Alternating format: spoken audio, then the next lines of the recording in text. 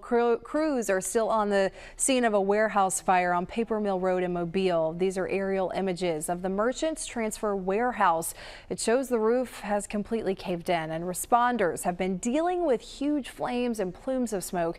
Investigators are still trying to figure out what exactly started the fire, but they say it's mostly bales of paper and wood that's burning. Also, with the heat almost hitting triple digits yesterday afternoon, it's leaving firefighters with more than just the fire to deal with. Fires are hot by nature, everybody knows that. Our firefighters are uh, very fit for uh, this kind of work, this kind of stress on the cardiovascular system. Uh, but even so, it just means we have to rotate personnel more frequently.